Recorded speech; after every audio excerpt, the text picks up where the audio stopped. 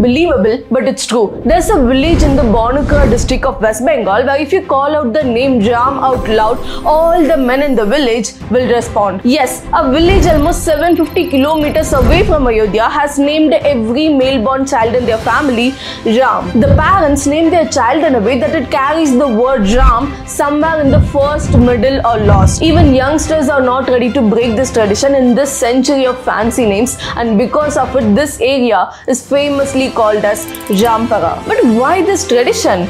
500 years back, they consecrated a Ram Mandir there and made it as their Kuladevata. In order to pay respect to their Kuladevata, they started following this tradition. Here in India, the name Ram is the most prevalent and popular one with more than 5.6 million persons with that name. Not just that, as per the 2011 census, there are 3,626 villages in our country that are named after Ram.